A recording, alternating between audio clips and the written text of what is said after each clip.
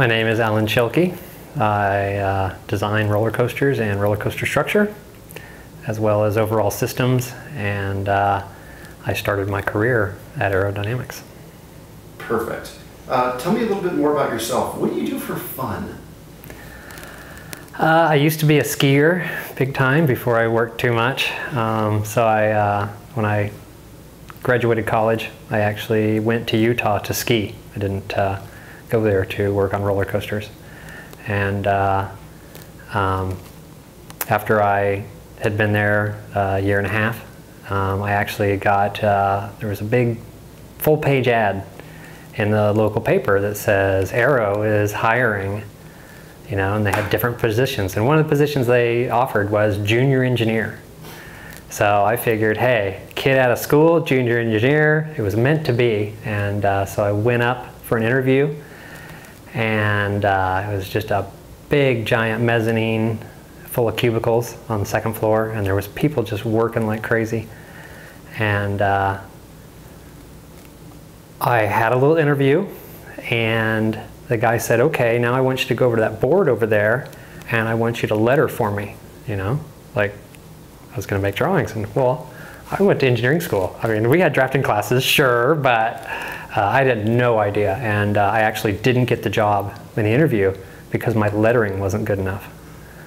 Uh, so anyway, I, I don't know how that all worked out, but that wasn't how I got my job. That was just, uh, but that was immediately out of college, basically, when I went to Utah. How did you get the job then? If you, you basically, your first time you went in and they basically said no? Uh, after that interview, um, I probably would say it was in the same summer, I uh, applied for a job uh, making buildings with uh, just a, a, local structural engineer. And they had a lot of work at that time, um, you know, libraries, baseball stadiums, stuff like that. And we shared an office, shared a secretary with a guy who made snowmaking equipment that uh, left that job, or his whole business, to go work as a mechanical engineer at Arrow. And as soon as he got to Arrow, he noticed that they were looking for more and more people. And they didn't do their own structural engineering in-house, they hired it out. And so he got us, the, the office where I was working, uh, the job to design the structure for roller coasters.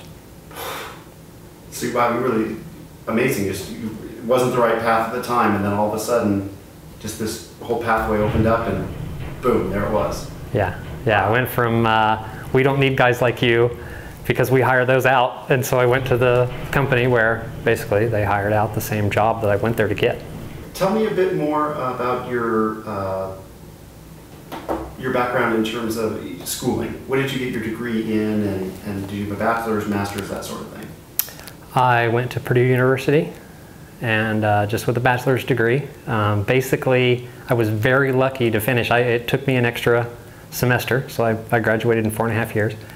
And uh, it's a good thing that I went straight through because if I probably would have taken time off, I may not have went back. So, uh, but yeah, I, so there was no grad school in it for me. I was looking to get out of there as fast as I could. Don't blame me at all. um, do rides still thrill you? And, and what makes a good ride to you? I still enjoy rides, um, definitely in terms of, um, not just in terms of the hands in the air and thrilling part, but just like while I'm on rides, I'm always paying attention to the mechanisms, the stuff going on. They interest me as well. So I'm, I'm interested in how it works, what makes it work, um, as well as you know enjoying the ride and having fun. Um, as far as really high thrill, uh, that's rare anymore. Um, you know, you've kind of seen it all and done it all, and uh, so now it's more of a it's more of an enjoyable experience, and those are the kind of coasters I like are the ones that are just flat out enjoyable. Because um, sometimes the ones that shoot for the real high thrill, um, when you when you're kind of numb to that thrill, um, then there's not much there left. So. Uh, tell me a little bit about uh, your designs. Uh, just I, you've made so many, but just sort of if you want to rattle off some of the names of the attractions that you've had a hand in or major hand in, not only just at RMC, but back at Arrow.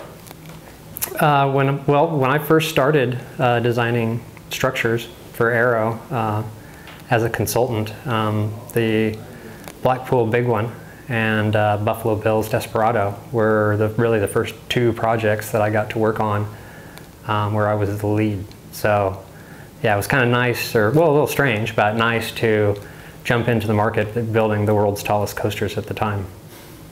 Definitely a big boon for a person you said basically just out of school still at that time, right? Yeah, yeah. Okay. Um, your, the first design, I guess, that, that really is credited to you, I guess, from beginning to end, because you started with structures, uh, was Tennessee Tornado, is that right?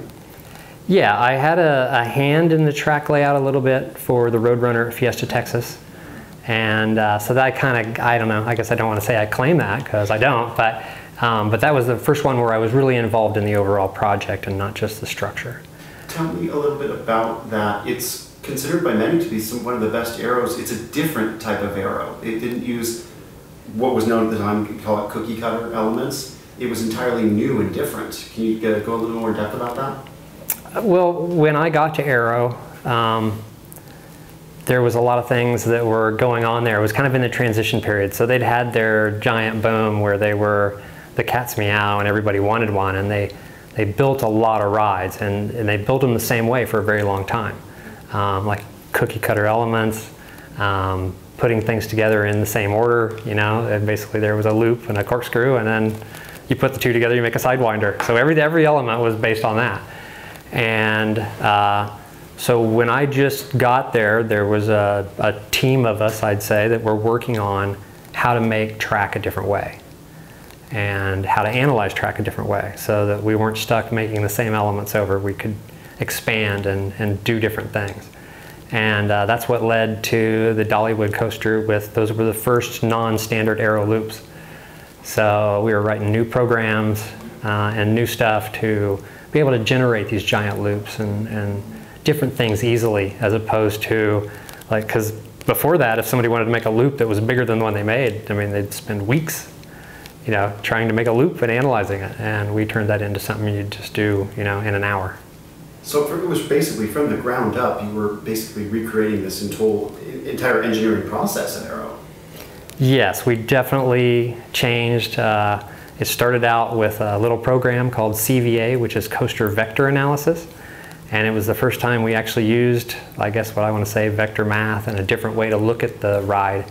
And we started looking at the ride basically every foot on center throughout the path as opposed to uh, a giant curve of circles and straight lines that were put together.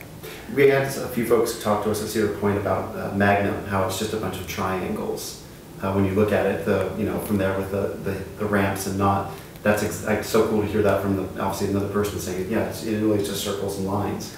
Well, originally the the circles and straight lines uh, wasn't because people weren't smart enough to do better engineering. It was that's really what they were able to build in the shop. And so when they wanted to build a curve that was a 30 foot radius, they cut a big 30 foot radius board and held it up to the track and said, oh, that's not tight enough. And they bent it more and they held the board up there and said, okay, that's a 30 foot radius. And they knew they were done. And so if engineering was going to make a more complicated track layout, um, the, the fabrication wasn't ready for it either. So along with the engineering upgrade, it was a definite change in how they built track. Awesome. Uh, speaking of different types of track, uh, you had your hand in the aerobatic, correct? Yes. Uh, can you go in a little more in depth about uh, that experience? Just a little bit, what was it, the idea behind it, and, and what uh, you were planning on doing with it? We were lucky enough, by the way, to see one of the aerobatic models at S&S that they had uh-huh. dust off. -huh. but it was uh, one of the wireframe models. It was pretty, it looked pretty amazing. Yeah, we, you know, Arrow had gone through its, its great times and uh, could sell things without even trying. And I got there kind of right as all that was ending. And that's kind of why the job positions were opening up. People were moving on, moving on to different companies. And uh, so we were tasked with trying to make the company a product that it could sell again. And uh, so the aerobatic was one of those. We, we we were still making corkscrews and we were still making mine trains if we could, but uh, uh, we were looking for new avenues. So uh, Arrow did mouse rides for a while. Um, that was something that I had a hand in recreating just to make it a different one. You know, the same kind of concept but different.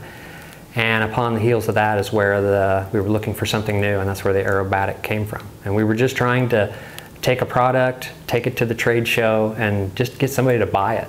You know, just take a bite. Uh, never happened, but uh, it's a great product. It, should have it should have flown, and I think if if the company wasn't kind of in the downturn it was when I at the time, I think it uh, could have easily taken off and, and uh, turned into a you know a wide use product line. And we'll get into a bit more about that, you know, you said sort of that decline in, in a little bit there. So, uh, did you have a chance to work with Ron Toomer at all? When I uh, first started, uh, Ron Toomer had uh, moved on to, he was, he, uh, Larry Hayes had taken over as president and Ron was a consultant at the time. So he was still there uh, quite a bit and I used to go down and sit in his office um, as he was you know, trying to come up with things and do things over there. And he'd, uh, he'd look up at me and being a structural engineer, he didn't think like that, you know, those guys just calculate columns.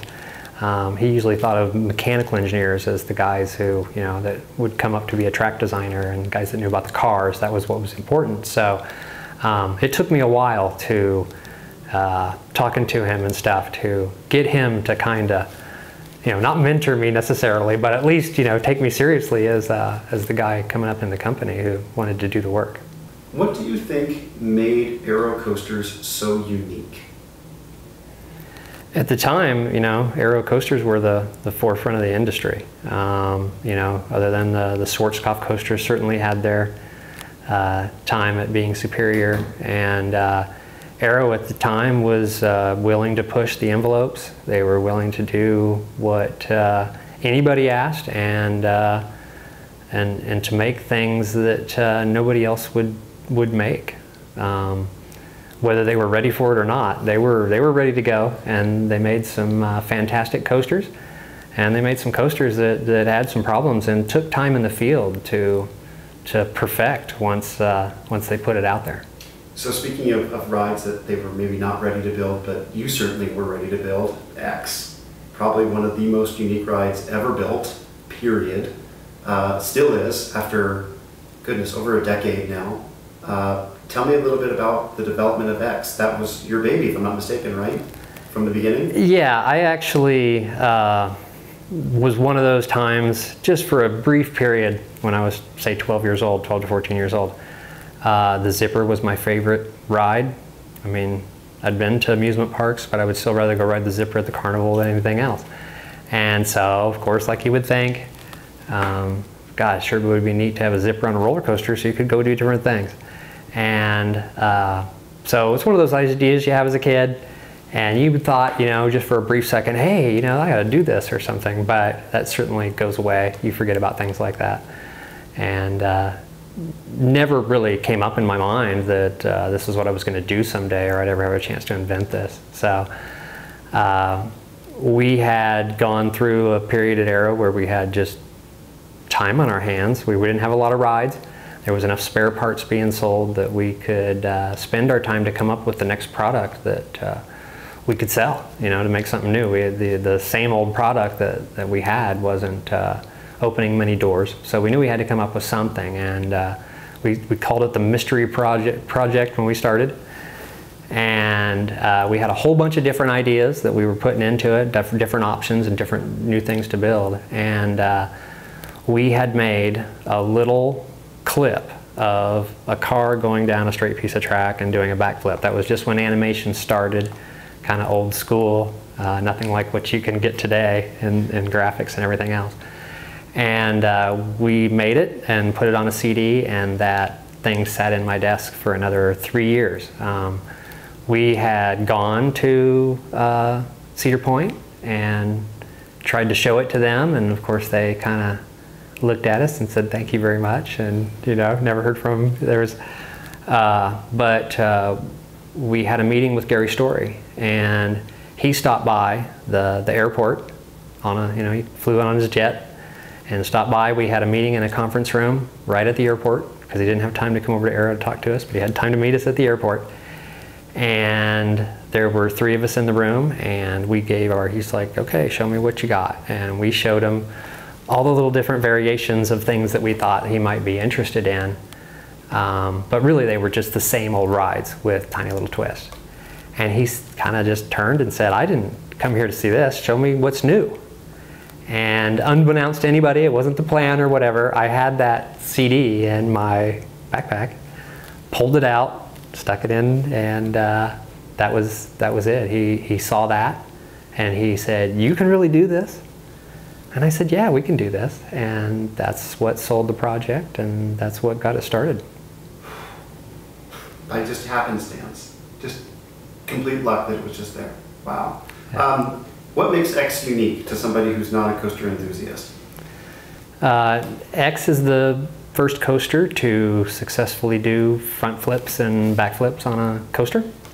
Um, not riding above or below the track, but out to the side. And so those were all things that were new and different. Some, of course, uh, feed off each other, but some were just things we always wanted to do, and we combined them all into the same ride.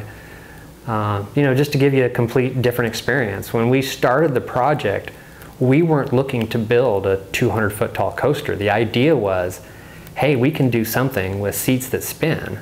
And we don't need to make the biggest, giantest coaster ever. We can make something small and reasonable and then still get the excitement out of doing something else. Um, but Gary Story wasn't interested in that. He liked the concept, but he wanted it to be huge. And so uh, we built the first prototype in the shop. And uh, that was kind of a stipulation. He said, hey, I like this. I want to go into contract for it but I need to see a prototype. So we built one that was 20 feet tall. And all it did, it, it kind of, we hoisted it backwards with a cable and it ran down, did a backflip, stopped, and then came back and bellied out. And uh, we were up until four in the morning getting it done because he was coming at eight in the morning. Broken cables, guys going down, waiting in line at the hardware store, wherever you had to buy the cable to get it back just in time. Uh, crazy experience. Uh, he showed up. Uh, him and a few others of the Six Flags team rode the prototype in the shop, and we were off and running. And uh, but when it came to placing the ride, they had picked the the location at Magic Mountain, and uh, he said this is going to be prominent, and I don't want a small coaster, and it's got to be bigger than the Viper because it's going to sit out there and we're building a new ride and it's got to be bigger. And that wasn't our intention for the ride, wasn't what we thought we wanted to sell. But when somebody gives you an order to sell a dream ride, um, you do what he says. So, uh, I mean, and it was. It was a, an aggressive choice. It was way too big for how you should start a new product. You should start small, work out all the kinks, get all the things done. Um, but given the opportunity, we had to take it. Uh, can a coaster be considered art? And do you design, think with that in mind? I design coasters. I don't think of it as an art as in a beauty. Um, there are other people's coasters that I think are very beautiful when I look at them. Um, I consider it kind of like a, like when you compare it to uh, somebody making a crazy motorcycle. There are ones out there that are beautiful shapes and candy paint jobs and you know beautiful things with flames on them. Uh, I consider things that I make to be more of a very industrial look, uh, no chrome and fancy paint, but you know hard, ugly steel, and but you know they have their own beauty to them in a way, um, just not not what you typically think. Gotcha. Uh, a bit now we'll sort of shift into just a bit about what your work here at RMC. How did it come to be? How did you and Fred hook up? Um, well, we, uh, working uh, as Ride Centerline, um, had uh, done several things to work on wood coasters in the past. Um, put some braces on the Rattler to cut down on the Rattler sway. Um, and we did several things for Six Flags, and they wanted to redo the coaster, and we're just looking for different ideas. They, they were trying to find something to fix it that wasn't a standard track stack. And so Larry Chickola had a, you know, a few ideas. Magic Mountain had been working on a few ideas with putting steel in track for a long time and kind of all got together and uh, worked on the design portion of it. and Fred was building the construction portion of it. So he was bidding it as wood track, he was bidding it as the steel track, different combinations of making wood track better. And so it was kind of, we both won the project together. He won the installation, I won the design, and Six Flags said, hey, you know, why don't you guys, we'll just write one contract. And so why don't you guys just work together? And uh, that was kind of how it all started. What gets you excited about coming to work and, and all the long hours involved? What gets you up every morning? It's uh, it's not what gets me up every morning. It's what keeps me up late at night. Um, it's you know the the days when you can go out and uh, ride the coaster for the first time or the first coaster drop. Um, definitely the first day the public rides. I mean, those are very special days. Those are the days that make it all worth it, as they say. And uh, it's absolutely true. That, that gets you pumped for the next time. But uh, just on a daily, day in, day out basis, um, you just get in a rhythm. You kind of have to. Um, if if the, the harder I work and the more I work, um, the more I want to work. And so, because um, you know, you're doing everything from the track layout to the track design to the structure design. Got to think about what's going on at the footing the same time you're trying to decide what fun is, especially on these rebuilds. You can't just decide what fun is. You have to decide what fun is knowing what you have to work with and all the limitations. So um, it's interesting in terms of an engineering aspect, um, but that wouldn't do it for me. It's the basically to be able to go out and build the world's biggest jumps. I mean, it, to me, it's the it's the world's biggest game of follow the leader, and I'm the leader.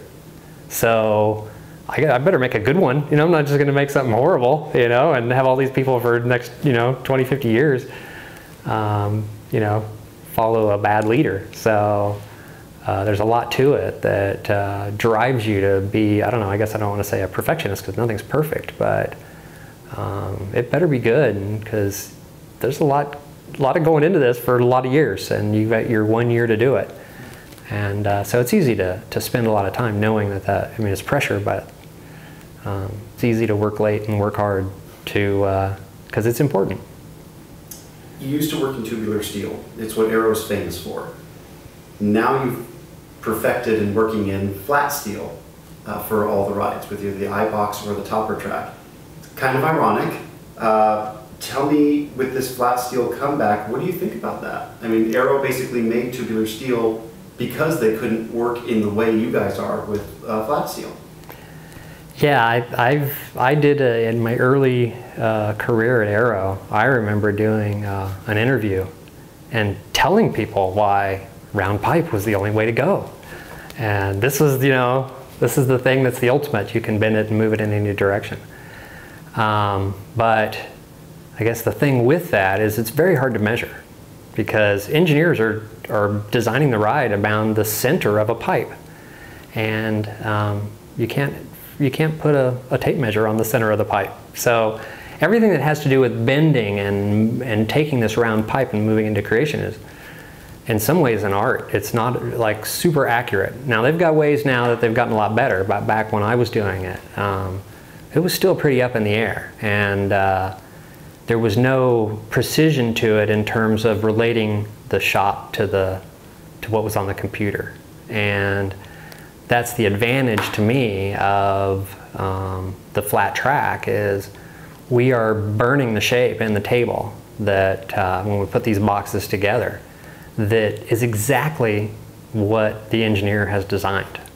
So it's not a matter of I come up with this great design, I give it to the shop, the guy in the shop kind of bends the steel and ends up and tweaks it to where he wants it. That kind of works and it's kind of close. Um, uh, uh, you know what I mean? That wasn't. We ended up with some bumpy rides, and you know, for example, the the the X ride was not as smooth as I wanted it to be, and so that was you know kind of the the motivation was uh, basically when I wanted to build a piece of track, I wanted that piece of track in the field because I could make an animation on the computer that would look like butter.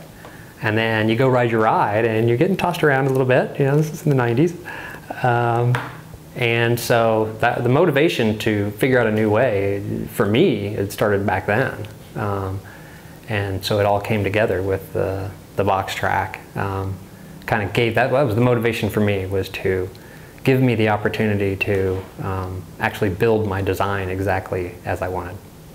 Uh, what parallels do you see between being at Arrow and now being at RMC? Uh, for example, Arrow was the company. I mean, for many years, they invented the stuff that everybody wanted.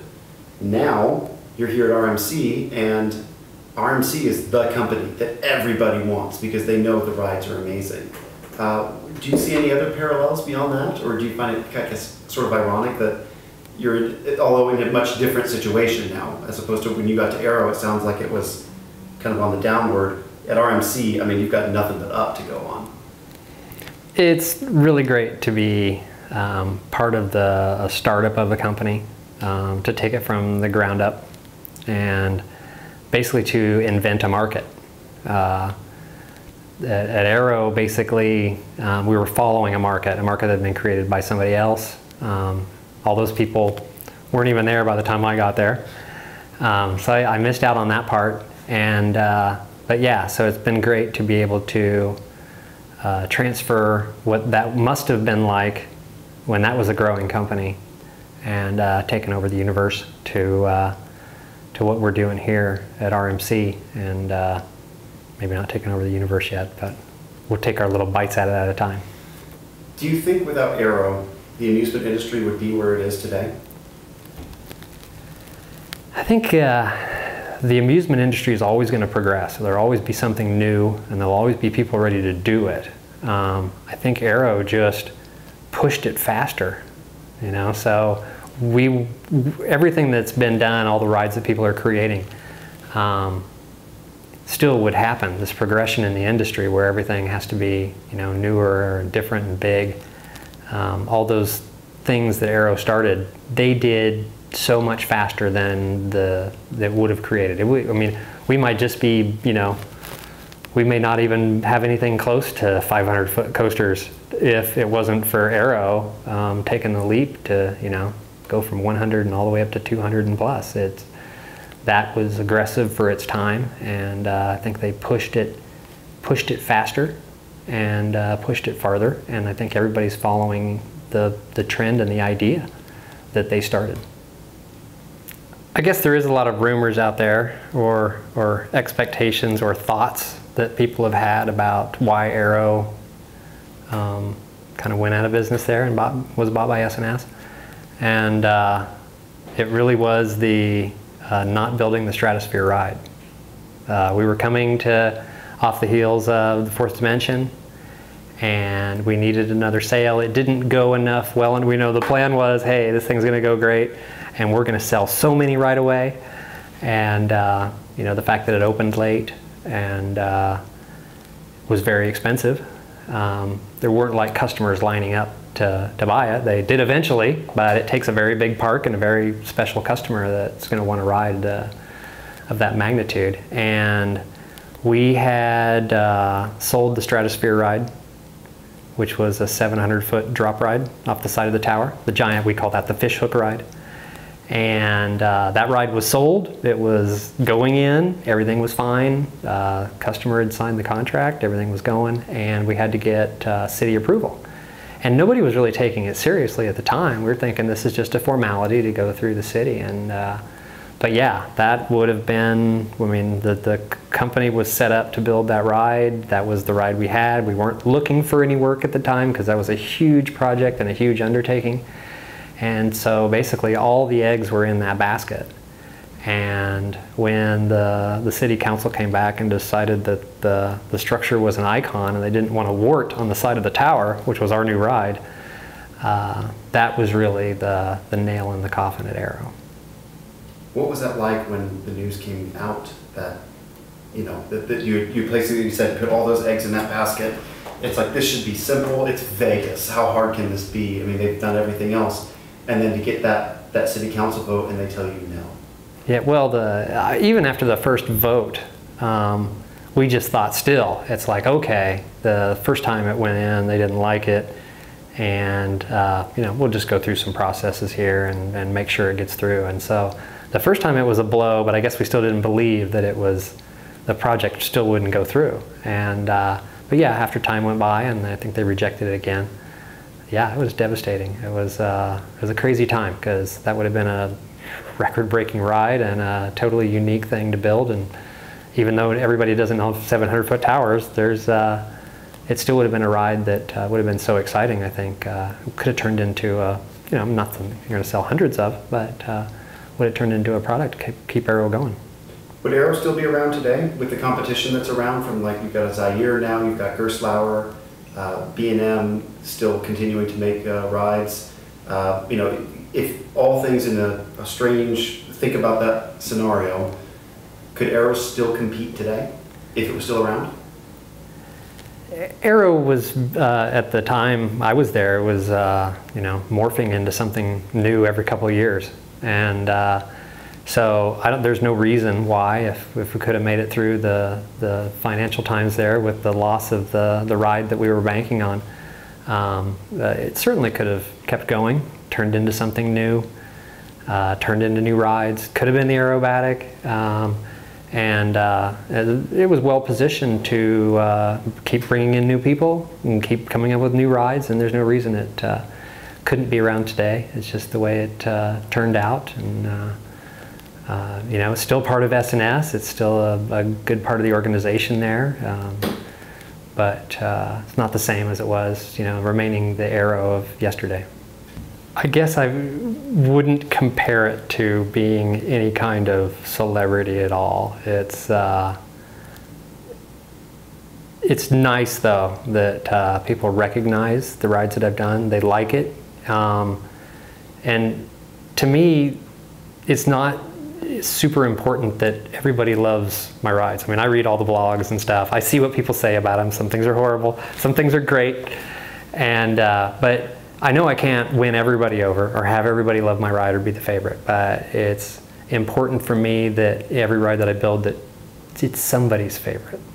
So um, I think that's the big thing is to be able to build rides that people love. And uh, when somebody can say it's their favorite ride, even if it's a smaller ride, um, at least you get some of the locals that haven't been around the world to the, see all these things. Hey, as long as somebody comes to me and says, hey, this is my favorite ride, uh, that's what makes my day every time I build one.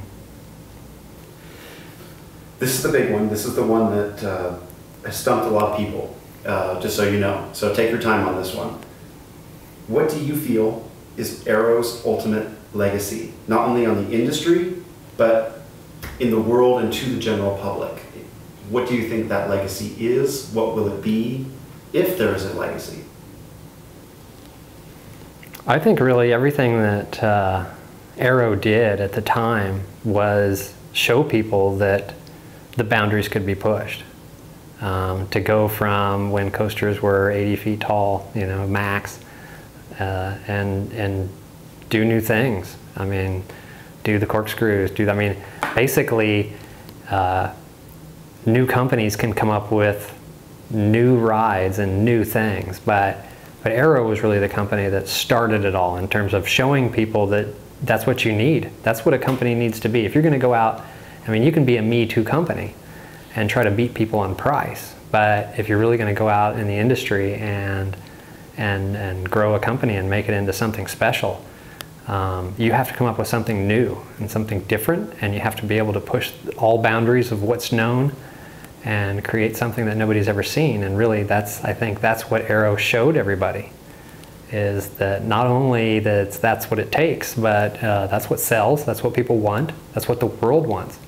They want to see something that nobody's ever done before, and uh, they did it best. I mean, in terms of being the pioneers, to be the first people that consistently built stuff that was way too big, and you know, for the time, way you know, just huge stuff. Um, it, really set the set the goal in terms of what these other companies have to follow, and to know that if you're going to make a mark in this industry, you've got to do something spectacular like they did. You can't just build more coasters.